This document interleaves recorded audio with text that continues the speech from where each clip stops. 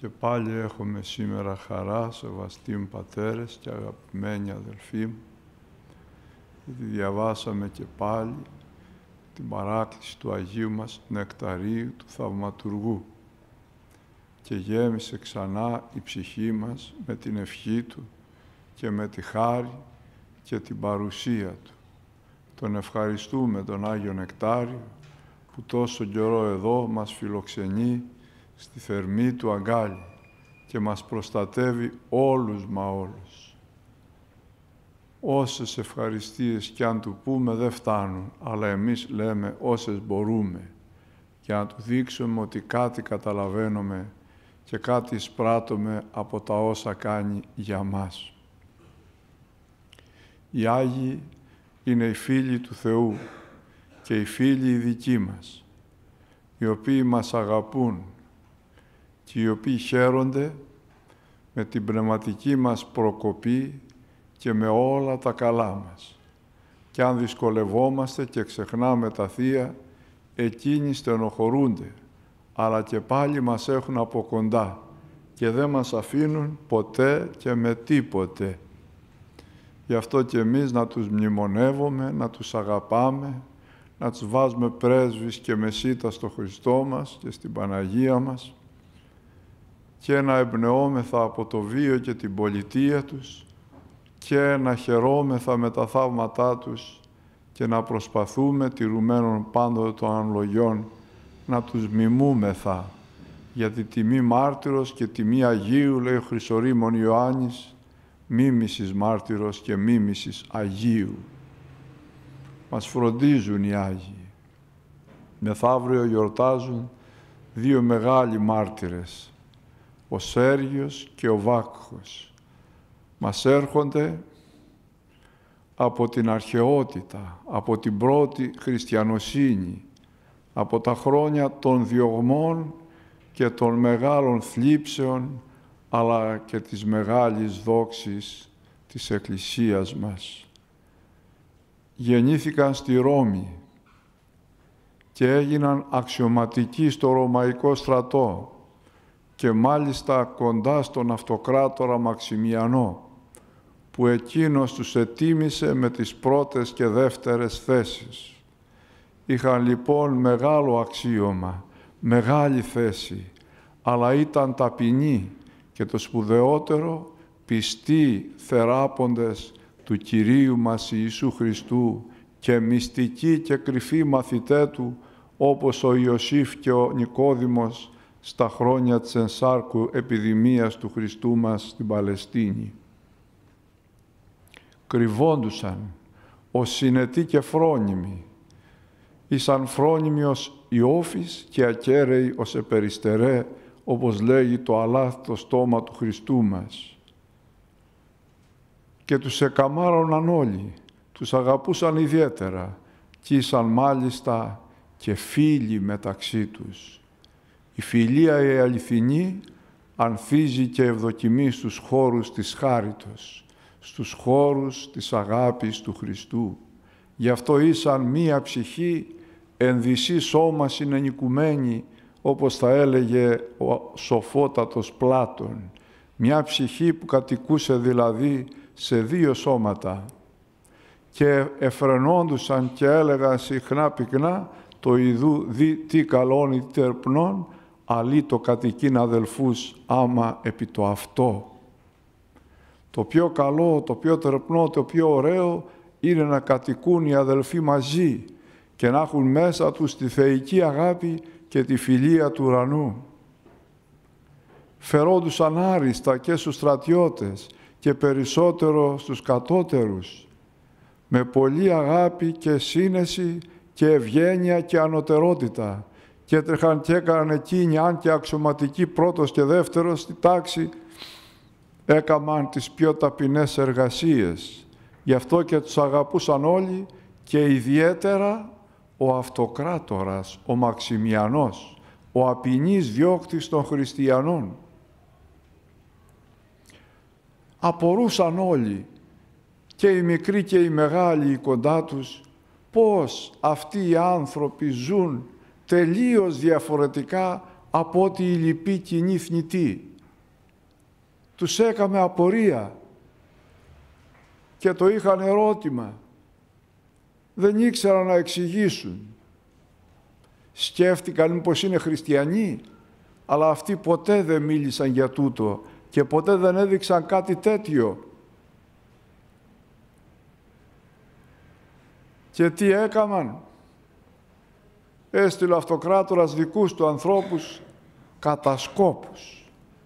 Να τους κατασκοπεύουν και να ειδούνε πού πάνε μετά το στράτευμα. Και βρήκαν πως πηγαίνουν στην εκκλησία, στις κατακόμβες και λαβαίνουν μέρος στη λατρεία των χριστιανών, στη λατρεία του Χριστού, στην εκκλησία του την Αγία. Ο αυτοκράτορας δεν θέλησε να το πιστέψεις. Κρίμα αν είναι έτσι λέει. Ήταν εκείνος ειδωλολάτρης και διώκτης, απεινής, σκληρός δηλαδή. Οι δικοί του επέμεναν, η κατάσκοπή του. Πήγαν και ξαναπήγαν, τους είδαν και τους ξαναείδαν. Και ο αυτοκράτορας άρχισε σιγά σιγά να πείθεται στους δικούς του. Και λέγει, θα κάνω ένα πείραμα. Θα καλέσω όλους τους αξιωματικούς να έρθουν στο ναό των ειδόλων, να προσφέρουμε θυσία στους δικούς μας θεούς και να τους ευχαριστήσουμε για όσα εκείνοι κάνουν για μας.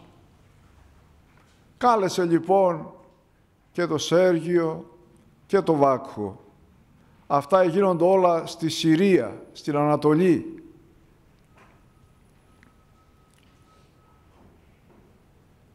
Και την ημέρα της θυσίας πήγαν όλοι οι αξιωματικοί και ο αυτοκράτορας και οι υπόλοιποι. Πήγαν και οι Άγιοι Σέργιος και Βάκχος αλλά έμειναν έξω από την εκκλησία, έξω από το ναό των ειδόλων καλύτερα και εκεί καθόντουσαν προσευχόμενοι. Για ποιο πράγμα λέτε, για την ψυχή του αυτοκράτορα και των υπολείπων ειδωλολατρών. Παρακαλούσαν το φιλάνθρωπο Κύριο να φωτίσει και εκείνους, να έλθουν όλοι στη θεογνωσία, να έλθουν όλοι κοντά Του. Και αφού τελείωσε η θυσία και αφού ο αυτοκράτορας δεν είδε τους λαμπρούς αξιωματικούς του Σέργιο και Βάκχο να μπαίνουν στην εκκλησία και να λαβαίνουν μέρος στις θυσίες, στενοχωρήθηκε. Τους αναζήτησε και τους βρήκαν οι δικοί του έξω από τον ναό προσευχόμενους. Τους είπα να μπουν μέσα, έτσι όρισε ο αυτοκράτορ να προσφέρουν και εκείνη θυσία. Και τότε αυτοί είπαν το μεγάλο τους όχι. Εμείς δεν μπαίνουμε στο ναό των ειδόλων. Ανήκουμε στο Χριστό μας και στην Αγία Του Εκκλησία και δεν έχουμε σχέση με αυτή την έκπτωση και με αυτό το κακό. Το είπα στον αυτοκράτορα και εκείνος επέμενε να τους μπάσετε μέσα με τη βία. Τους συνέλαβαν και τους έβαλαν στην εκκλησία. Εκείνοι όμως ουσιαστικά δεν ήσαν. Γιατί έχουμε ευθύνη για ό,τι κάνουμε προσωπικά και με ελεύθερη επιλογή. Τι κι αν μπήκα στο ναό των ειδόλων, εκείνοι ήσαν στην εκκλησία του Χριστού και στη χάρη Του την Αγία. Τους διέταξε λοιπόν ο αυτοκράτορ να θυσιάσουν και εκείνοι είπαν ξανά το μεγάλο τους όχι. Έκαμαν αντίσταση και ομολόγησαν τώρα τον Κύριό μας Ιησού Χριστό. Δεν χρειάζεται να ομολογούμε παντού και πάντοτε όταν δεν μας το ζητήσουν, όταν δεν το καλέσουν οι περιστάσεις, να είμαι θα συνετοί και φρόνιμοι. Γιατί κάποιες φορές εμείς αρχίζουμε ευκαίρος ακέρος και λέμε βλακίες. Κάνοντας τάχα τους λεβέντες και αν μας τριμώξουν λιγάκι τα κάνουμε και πάνω μας. Όχι. Οι Άγιοι τόσο καιρό στο στράτευμα εκρύπτοντο. ή το κρυπτοχριστιανοί. Έχει σημασία αυτό μεγάλη αδελφοί και πατέρες μου. Και όταν όμως τους εζητήθη, τότε ομολόγησαν στεντορία τη ψυχή και μεγάλη τη φωνή και μόλι τους την ύπαρξη ότι εμείς ανήκουμε σε άλλο βασιλιά, στο βασιλέα των ουρανών, στο φιλάνθρωπο Χριστό μας. Σε σένα ανήκει η διακονία μας, η υπηρεσία μας και όπως ξέρεις την κάναμε καλά και τέλεια και θα την κάνουμε και στη συνέχεια. Αλλά για τα παρέκει μη μας ζητάς να αρνηθούμε τον Κύριο. Ό,τι κι αν κάνεις δεν πρόκειται εμείς να αλλάξουμε. Πάρε μας και τη ζωή, ό,τι άλλο νομίζεις. Εμείς είμεθα του Χριστού και θα μείνουμε του Χριστού και θα πεθάνουμε για εκείνον αν δεήσει έστω και μαρτυρικά. Στο βάθος αυτό άρεσε στον αυτοκράτορα. Για τέτοιους άντρες και τέτοιους λεβέντες σπάνια έβλεπε κανείς όπως και στις ημέρες μας που γίναμε όλοι ανδρίκερα και όλοι το ένα και τ' άλλο. Τους θαύμαζε, αλλά έλα που το κακό δεν τον άφηνε. Και τότε διέταξε να τους αφαιρέσουν τα διάσημά τους. Και ύστερα τους έβγαλαν από την εκκλησία αφού τους έφτισαν οι δολολάτρε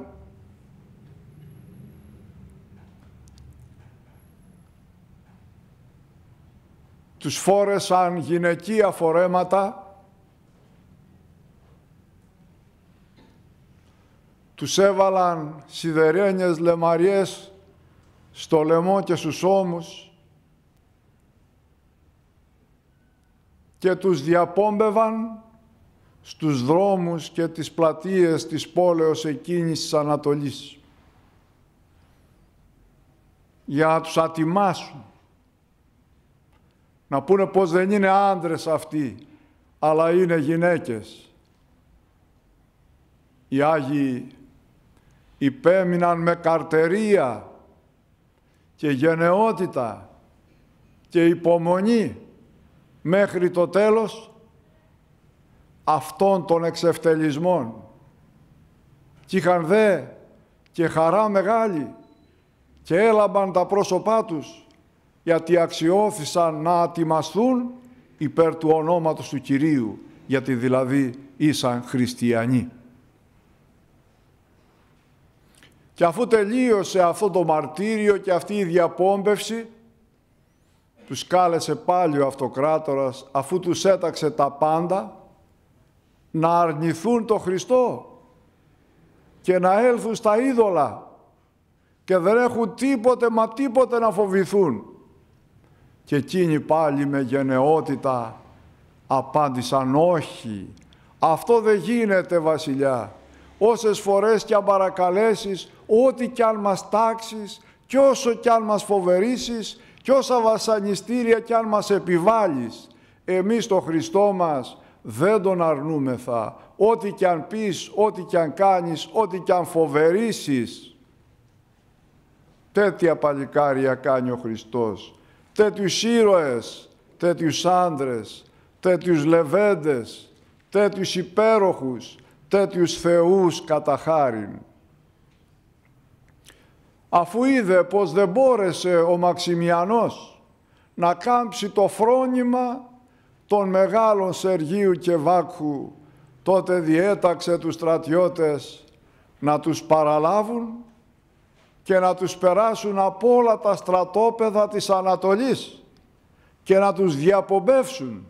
Σκεφτείτε αδερφοί και πατέρες, τι βάσανο ήταν αυτό για τους Αγίους, αλλά και τι τιμή και τι δόξα προχώρησαν και πέρασαν πολλά στρατόπεδα και έφτασαν στον Εφράτη ποταμό, σε μια πόλη που ελέγεται Εφρατισία. Εκεί ήταν διοικητής της επαρχίας της Ανατολής, ένας φοβερός και σκληρός διώκτης των χριστιανών, ο Αντίοχος. Είχε εκείνο στείλει στον άλλο κόσμο αμέτρητους χριστιανούς με τα πιο σκληρά και απεινή βασανιστήρια. Έφεραν λοιπόν εκεί τους μελοθάνατος, τους μελοθάνατους, εκεί τους μεγάλους, τον Άγιο Σέργιο και τον Άγιο Βάκχο. Προσπάθησε, προσπάθησε ο Αντίοχος να τους αλλάξει, να τους κάνει να προσκυνήσουν τα είδωλα. Αλλά εκείνοι συνέχισαν να είναι σταθεροί και ακόμη πιο σταθεροί και πιο γενναίοι. Έκαναν αντίσταση κάτω του κοσμοκράτορα, κοσμοκράτορος του σκότους του αιώνος τούτου και των οργάνων αυτού. Και αφού δεν μπόρεσε τίποτε να κάνει ο φοβερός αντίοχος και οι υπόλοιποι αυτό, τότε διέταξε να τους βασανίσουν. Και μάλιστα τους εχώρισε να μην είναι μαζί κάτω μαρτύριο και να μην ενισχύει ο ένας τον άλλον. Πονηρός. Πάντοτε η διέρεση αδυνατίζει τις σχέσεις και καταστρέφει την ενότητα και φέρνει κακό. Έκλεισαν λοιπόν το Σέργιο στη φυλακή και παρέλαβαν οι δήμοι και οι στρατιώτε το βάκχο μοναχό του. Τι ψυχές, αλλά και άνθρωποι σαν κι αυτοί και τι πόνος και τι μαρτύριο, αλλά και τι πίστη και τι γενναιότητα και τι ανδρεία πήραν ρόπαλα και άρχισαν να χτυπούν τον Άγιο παντού και αλίπητα. Και ύστερα πήραν βούνευρα, βούρδουλες. Μαστίγια από δέρμα ή νεύρα βοός, γι' αυτό λέγονται βούνευρα. Και άρχισαν να χτυπούν με κίνα, που είναι πιο σκληρά και πιο αποτελεσματικά το αίμα του Αγίου Βάκχου άρχισε να τρέχει. Να τρέχει για το Χριστό, να ποτίζει το νεοπαγές δέντρων της Εκκλησίας και της πίστεως. Και εκείνος αν και πονούσε αφόρητα, ζητούσε τη δύναμη και τη χάρη του Κυρίου μας Ιησού Χριστού.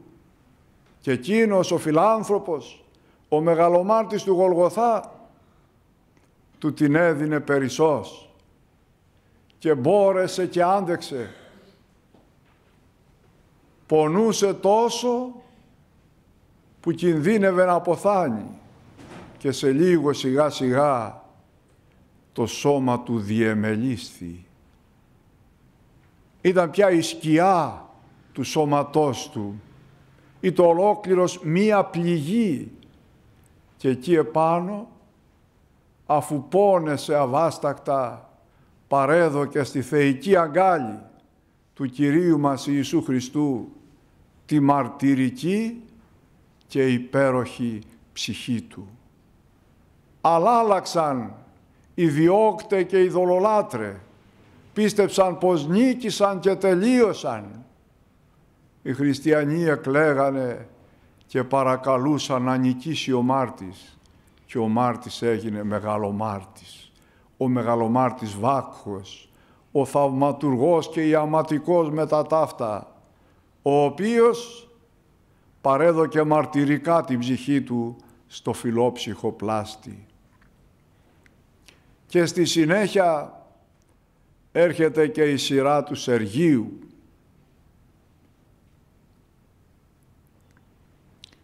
Τον έβγαλαν από τη φυλακή τον οδήγησαν μπροστά στον τύρανο Αντίοχο που ήταν γνωστός του. Και κάποτε ο Σέριος που ήταν στα πράγματα τον είχε ευεργετήσει. Και το θηρίο και το θηρίο ακόμη θυμόταν την ευεργεσία και δίσταζε να απλώσει χέρι στο μάρτυρα και του είπε «Σέργιέ μου, θυμάμαι πάντα το καλό που μου έκαμες και δεν το ξεχνώ ποτέ μα ποτέ. Τώρα όμως με φέρνει σε δύσκολη θέση με αυτή την πίστη που λες πως έχεις στον Αζωραίο. Θα σε παρακαλούσα να μην με φέρει σε δύσκολη θέση, να μην με φέρει σε αδιέξοδο. Γι' αυτό άλλαξε την πίστη σου. Έλα με τα είδωλα και εγώ εδώ είμαι. Θα σου δώσω τη θέση μου και ό,τι άλλο ζητήσεις. Και ο γενναίος Σέργιος του λέγει «Άκουσε φίλε αντίοχε, άκουσε αδελφέ, συμφωνώ κι εγώ με την ευεργεσία που σε έκανα τότε, γιατί να ξέρεις πως σε αγαπώ και σε υπολείπτομαι και σε τιμώ. Και θέλοντας να απαντήσω αυτά που μου είπες, σου λέγω, έλα σε μας, έλα στην Εκκλησία του Χριστού, γίνε χριστιανός, να σου κάνω εγώ πια τη μεγαλύτερη ευεργεσία και από εκείνη που σου έκαμα τότε, την όντως ευεργεσία. Και εκείνος τότε, δοχείων όν του κακού, αγρίεψε, ξέχασε και ευεργεσίες, ξέχασε και αισθήματα, ξέχασε και παρακλήσεις, ξέχασε τα πάντα. Και διέταξε να τον χτυπήσουν αλίπητα, να το κάνουν να πονέσει παντού, να πληγωθεί παντού. Και στο τέλος, αφού εκείνος έμεινε αίτητος, πάντα στη ζωή και στην Εκκλησία νικά ο Χριστός και όχι ο στρατής που λέει ένα διήγημα. Και αφού δεν τον έκαμψε, διέταξε να του φορέσουν, διέταξε να του φορέσουν σιδερένια πέδιλα που είχαν καρφιά από το μέσα μέρος και καθώς τα φόρεσε καρφώθηκαν στα μαρτυρικά του πόδια. Και τον διέταξε ο απεινής τύρανος να τρέχει πρώτου άρματός του φορώντας αυτά τα πέδιλα που ήσαν, είχαν εχμές μέσα βελόνες, καρφιά και ήσαν και σιδερένια και βαριά και προεπορεύεται της αμάξης του τυράννου Αντιόχου. Έτρεχε ο Άγιος και έτρεξε ξέρετε πόσο; 15 χιλιόμετρα.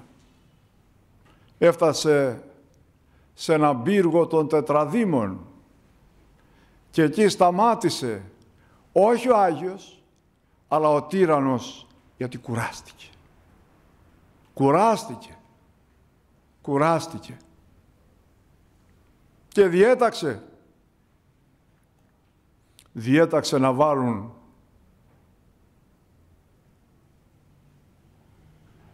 το μάρτυρα σε ένα σκοτεινό δωμάτιο. Χωρίς φαγητό, χωρίς τίποτε. Είχε μέσα ποντίκια και φίδια. Να μείνει εκεί το βράδυ μόνος του και το πρωί θα συνέχιζαν.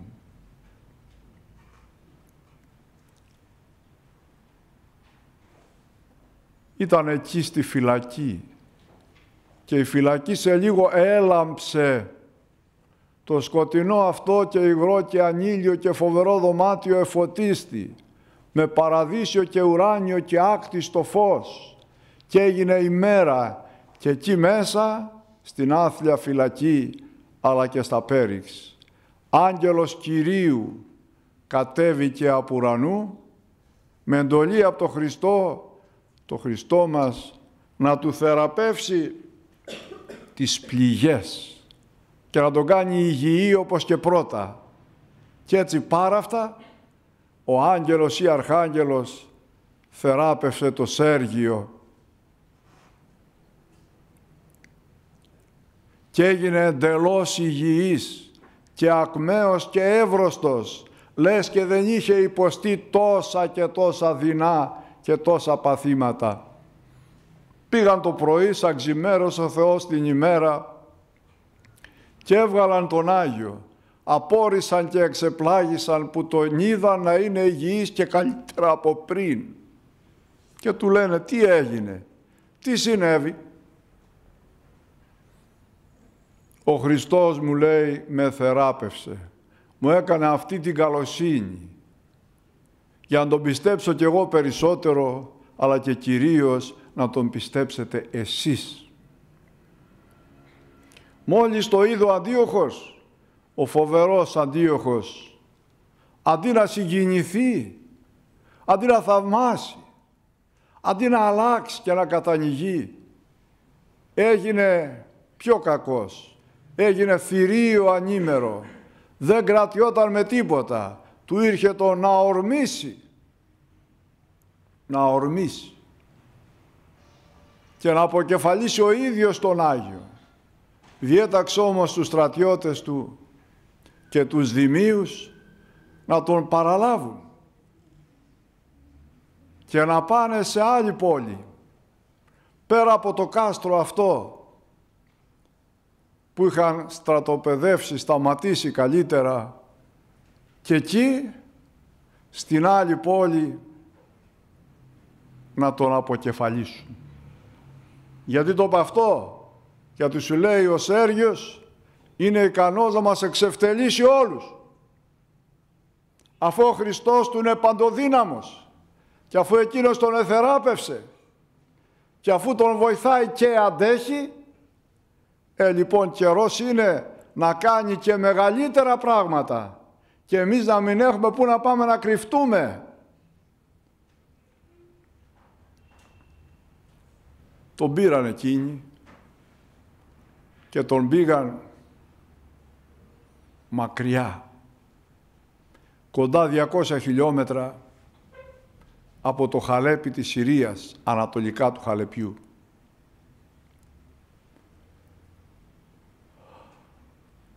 Για να τον ταλαιπωρήσουν, να τον εξαντλήσουν και να τον κάνουν να πονέσει με την κρυφή ελπίδα μήπως αλλάξει. Γιατί η ελπίδα πεθαίνει τελευταία στα εγκόσμια πράγματα όπως γνωρίζουμε. Ενώ στην Ορθοδοξία μας είναι αθάνατη και ανυπόστατη γιατί είναι ο ίδιος ο Χριστός μας, ο αθάνατος βασιλέας της δόξης και Κύριος και Θεός ημών. Έφεραν λοιπόν, έφεραν κοντά σε μια πόλη τον Άγιο Σέργιο και εκεί θα τον αποκεφάλισαν. Του διάβασαν τη διαταγή του Αντιόχου, τη θανατική του δηλαδή καταδίκη διαποκεφαλισμού. Και εκείνος τότε τους παρεκάλεσε, τους παρεκάλεσε.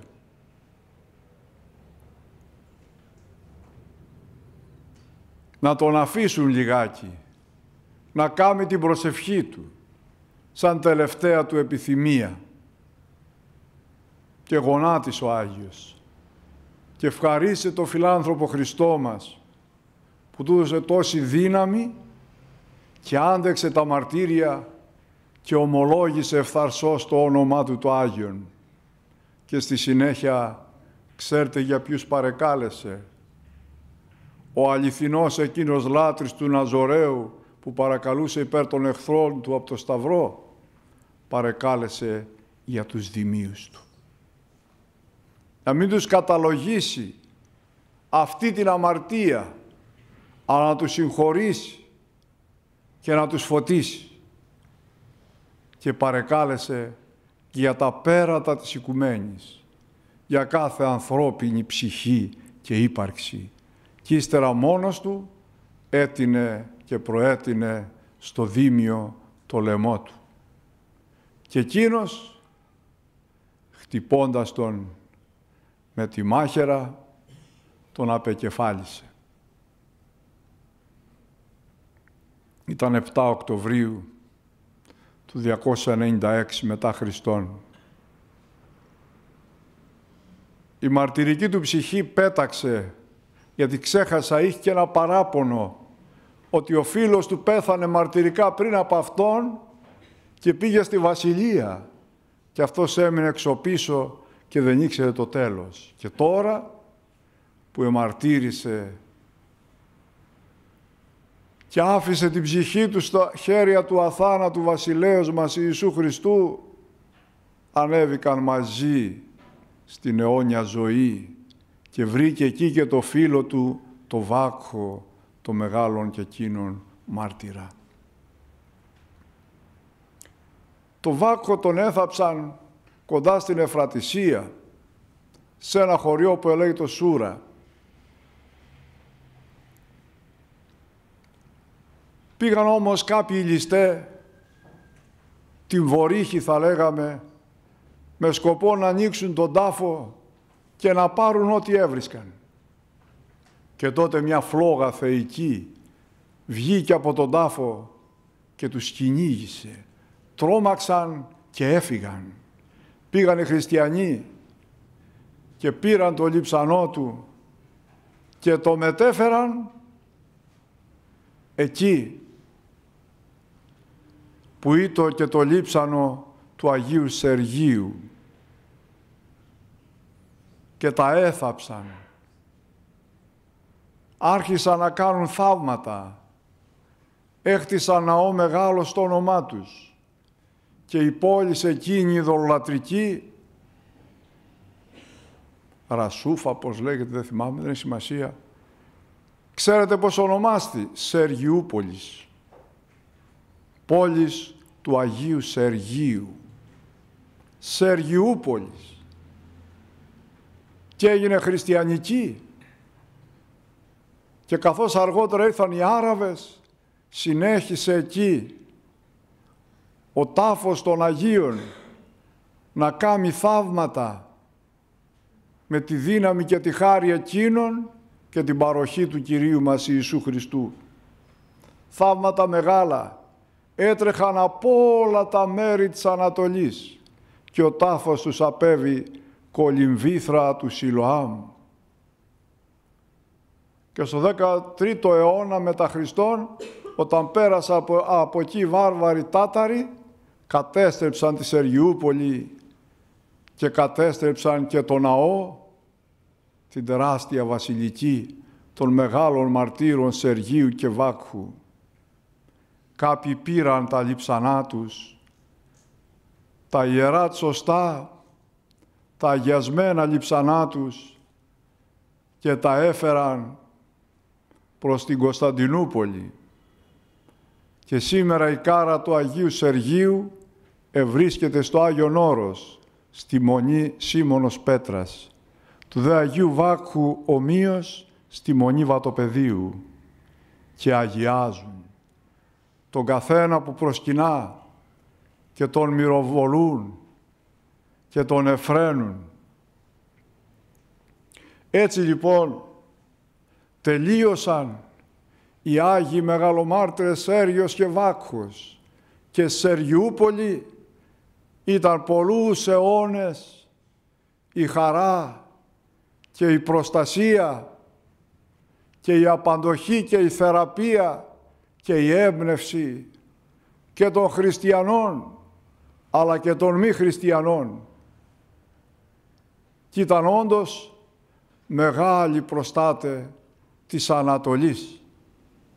Τη δόξα τους, το μαρτύριό τους, το μεγαλείο τους, θαυματουργική τους χάρη ζήλεψε, ξέρετε ποιος, ο Μέγας Αυτοκράτορ Ιουστινιανός. Και αφού έφτιαξε την Αγία Σοφία και τους άλλους ναούς, τους μεγάλους, θέλησε, αποφάσισε να φτιάξει και ναό των Αγίων και Μεγάλων Μαρτύρων Σεργίου και Βάκχου, των θαυματουργών και ιαματικών. Και αμέπως αμέργων το είπε και το έκανε και έφτιαξαν κοντά εκεί στο Ιερό Παλάτι ένα περίφημο ναό των Αγίων Μεγάλων Μαρτύρων Σεργίου και Βάκχου και αιώνες εκεί μέχρι την άλωση φιλοξενούσαν τα λείψανα των Αγίων Σεργίου και Βάκου που τα έφεραν αργότερα όπως σας είπα στη Βασιλεύουσα και αλλού. Και είχαν μεγάλη χάρη εκεί στην Κωνσταντίνου πόλη οι δύο αυτοί μεγάλοι μάρτυρες έτρεχαν αμέτρητοι χριστιανοί και μη στο ναό τους, στα εικονίσματά τους, στα λείψανά τους αργότερα και έπαιρναν μεγάλη δύναμη. Και γίνονται θαύματα, ξεκλειδώνσαν ψυχές, εθεραπεύονται άνθρωποι και το μαρτύριο των Αγίων ενέπνευσε πολλούς στο να γίνουν χριστιανοί, στο να αλλάξουν τρόπο ζωής και κάποιοι μάλιστα να γίνουν και μάρτυρες και ασκητές της Εκκλησίας μας ανάλογα. Αυτοί είναι οι Άγιοι, Σέργιος και Βάκχος και θυμάμαι από παιδάκι πως ασκούσαν στην ταλέπορη ψυχή μου αυτοί οι Άγιοι μια μυστική γοητεία, ένα θαυμασμό, μια αγάπη ανίποτη, κάτι το άλλο. Και χρειάστηκε να περάσουν δεκαετίες, χρειάστηκε να περάσουν αδελφοί και πατέρες μου δεκαετίες. Για να εκφωνήσω σήμερα μπροστά στην αγάπη σας αυτό τον ταπεινό λόγο, δηλαδή να σας αναπτύξω το συναξάριο, το βίο και την πολιτεία τους και τα μεγάλα τους μαρτύρια και την τελική νίκη τους, αλλά και τις ευεργεσίες και τα ωφέλη πάνω στη χριστιανοσύνη τόσους αιώνες, τόσους αιώνες. Τους θαυμάζουμε και σήμερα, τους αγαπάμε, θαυμάζουμε τη λεβεδιά και τον ηρωισμό τους σε μια εποχή παρακμής και δηλίας και ουτιδανότητος. Σε μια εποχή που ήρθαν τα άνω κάτω. Σε μια εποχή που πολύ δυσκολευόμαστε. Έχει η πατρίδα μας περιέλθει σε κατάσταση αξιοθρύνητη. Πολεμάνε οι πάντες όλα τα θηρία της γης τρώνε από μας και θέλουν ή δυνατόν το βλέπετε να μας αφανίσουν. Πάει η γλώσσα μας. Φέρνει την τουρκική τώρα με τα Σύριας στην τηλεόραση, στα τουρκικά και με τώρα και με άλλο, σε λίγο θα μάθουμε όλοι να τουρκίζομαι. Θα μάθουμε να πυθικίζομαι, θα μάθουμε να μιλάνε, μιλάμε και θα ξεχάσουμε την αθάνατη ελληνική γλώσσα, τη γλώσσα των αρχαίων σοφών, τη γλώσσα της Εκκλησίας, τη γλώσσα των πατέρων, τη γλώσσα της οικουμένης, τη γλώσσα του Θεού, τη γλώσσα του Αγίου Πνεύματος. Και βλέπετε οι όποιοι εχθροί, οι μέσα και οι έξω, χτυπάνε πια την Εκκλησία, αφού διέλυσαν την πατρίδα, διέλυσαν το στρατό, διέλυσαν τον κοινωνικό ιστό, κατασπάραξαν τους θεσμούς και έφεραν τόσο κακό και τώρα χτυπάνε αλίπητα και αμήλικτα τη μόνη ελπίδα της πατρίδος μας και της οικουμένης, την Ορθοδοξία, το Χριστό μας. Μπορεί να έκαναν τους παπάδες και τους δεσποτάδες να σιωπούν και να φοβούμεθα. Μπορεί να έκαναν τους χριστιανούς να απαντιάσουν και να λουφάξουν. Αλλά αυτή δεν είναι η Εκκλησία η Εκκλησία είναι ο Χριστός παρατηνόμενος στους αιώνες. Και αν ξεδόντιασαν την πατρίδα μας και αν ξεδόντιασαν τους εκπροσώπους της θρησκείας μας της Ορθοδόξου, το Χριστό μας δεν μπορεί κανείς μα κανείς και ποτέ ας ακουστεί ούρμπι ετόρμπι και στην πόλη και στην οικουμένη δεν θα μπορέσει κανείς να τον ξεδοντιάσει, αλίμονο, βλασφημία λέγω. Δεν θα μπορέσει κανείς να τον νικήσει γιατί είναι αίτητος και εξήλθε νικών και ή να νικήσει. Ας το έχουν υπόψη τους αυτό και ας το έχουμε και εμείς υπόψη μας για να παίρνουμε θάρρος και δύναμη στους δύσκολους καιρούς.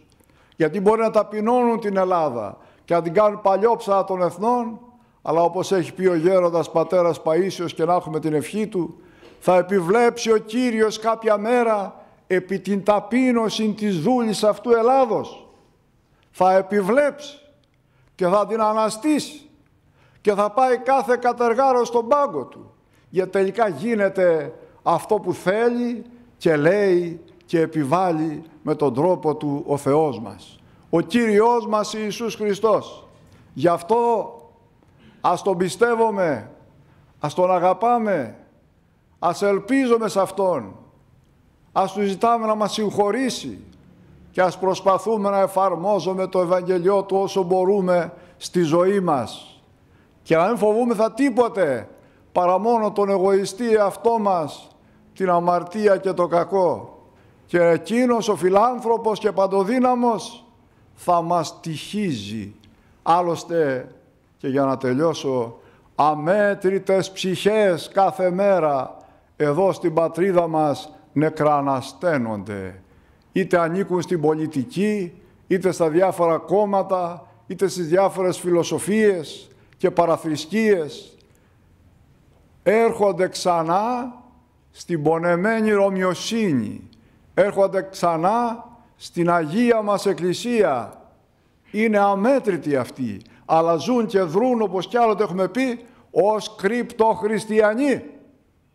Θα έρθει μια ώρα, θα το καλέσουν οι περιστάσεις, θα το φέρει η ανάγκη, που όλοι αυτοί οι κρυπτοχριστιανοί, όλοι αυτοί οι υπέροχοι Ελληνοορθόδοξοι και οι φιλέλληνες Ορθόδοξοι θα βγουν στην επιφάνεια και θα δείτε θα γεμίσει η Αθήνα και οι πόλεις και τα χωριά από κόσμο διαμαρτυρόμενο. Από κόσμο που θα διαμαρτύρεται κατά της κακής αυτής συγκυρίας και κατά της καταστροφής που έχει επικαθεί στην πατρίδα μας. Και τότε όλοι εκείνοι οι ένοχοι δεν θα ξέρουν πού να πάνε να κρυφτούν. Τώρα μας παρέλυσαν, μας έφεραν σε νεκροφάνια αλλά δεν αποθάναμε, αναστενόμαστε. Γι' αυτό μιμούμε τους Αγίους μας και ξερέτως το Χριστό μας και απολύτως ας κάνουμε αντίσταση κατά του κακού. Πρώτα και κύρια κατά του κακού εαυτού μας. Δια της μετανοίας και διορθώσεως ας τον κάνουμε χριστιανοπρεπή. Ας τον κάνουμε Έλληνα Ορθόδοξο. Ας τον κάνουμε Ρωμαίο. Και ύστερα ας καθαιρέσουμε όλα τα οχυρώματα της πλάνης που θα έλεγε ο Απόστολος Παύλος και ας φρουρήσουμε την πατρίδα μας από όλους τους εχθρούς, από τους μέσα και από τους έξω. Το οφείλουμε σε όλους εκείνους που έπεσαν υπερπίστεως και πατρίδος, σαν σήμερα άρχισαν οι μεγάλοι Βαλκανικοί πόλεμοι και ελευθερώθηκε η Ήπειρος, ελευθερώθηκε η Μακεδονία και τα νησιά του Βόρειο Ανατολικού Αιγαίου και άφησαν τα κοκαλά τους εκεί στα βουνά αναρρύθμιτοι Έλληνες στρατιώτε αξιωματικοί και υπόλοιποι. Τους οφείλουμε αυτούν λοιπόν να κάνουμε κι εμείς τα πάντα όπως και εκείνοι με τη χάρη και τη δύναμη του Ιησού Χριστού για την πατρίδα μας την Ορθόδοξη, την Ελλάδα μας την υπέροχη και μοναδική και οφείλουμε ακόμα και στα παιδιά μας. Εμείς θα φύγουμε αύριο οι μεγαλύτεροι. Τι θα αφήσουμε στα παιδιά μας, τη βαρβαρότητα, τη σκλαβιά, την απαθλίωση, το κακό, την Τουρκιά τη νέα. Και εκείνα τι θα κάνουν τα ταλέπορα; Ξέρετε έρχονται κοντά μας και μας ρωτάνε εσείς θα φύγετε, εμάς; Πού μας αφήνετε; Ας το σκεφτούμε αυτό και ο Χριστός και οι Άγιοι και η Παναγιά. Ας μας φωτίσουν να κάνουμε το καλό για την πατρίδα μας, τιμώντας τους πεθαμένους και παραδίνοντας τα παιδιά μας ένδοξη πατρίδα και ελευθερία και ρωμιοσύνη. Αμήν. Ευχαριστώ ολόψυχα και ολόθερμα τους πατέρες και αδελφούς, το Ίδρυμα και τις Κυρίες, τον Ιεροψάλτη, τους Επιτρόπους, το σταθμό της Εκκλησίας μας, της Εκκλησίας της Ελλάδος 89,5 FM και τους παράγοντας αυτού και τους ακροατάς αυτού, τους εγγύς και τους μακράν, τον ηχολήπτη μας και εσάς όλους ιδιαίτερα που και σήμερα ήρθατε και κάναμε την παράκληση του Αγίου Νεκταρίου μας, και την ομιλία για τους μεγάλους μάρτυρας Σέργιο και Βάκχο. Μεθαύριο, Παρασκευή, 5 με 6 το πρωί, θα κάνουμε Θεία Λειτουργία, τιμώντας και τους μεγαλομάρτυρας που αναφέραμε. Και την ερχόμενη Τετάρτη, 2.30 με 3 θα κάνουμε παράκληση στην Παναγία μας και ομιλία με θέμα ο Άγιος Κοσμάς ο μελωδός, ο ποιητής των κανόνων. Ας ψάλουμε τώρα τον εθνικό ύμνο της Εκκλησίας και να φύγουμε. Τι περμάχο στρατηγότα νικητήρια.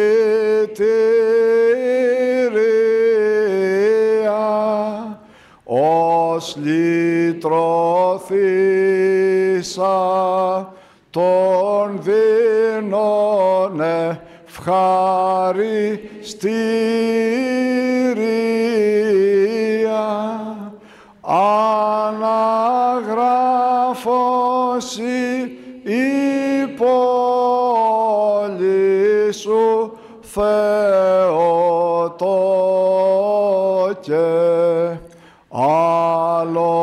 άλλος έχου σαν το κράτος απροσμάχητον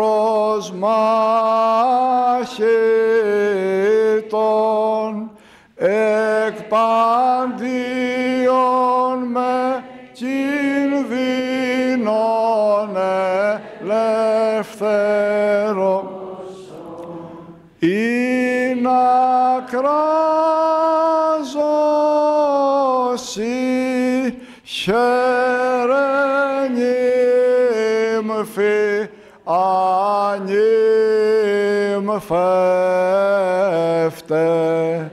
Και πάλι σε ευχαριστώ. Η Άγιη βοήθειά μας. Καλή νύχτα, καλή αντάμωση την άλλη φορά και ο Θεός να μας έχει καλά όλους.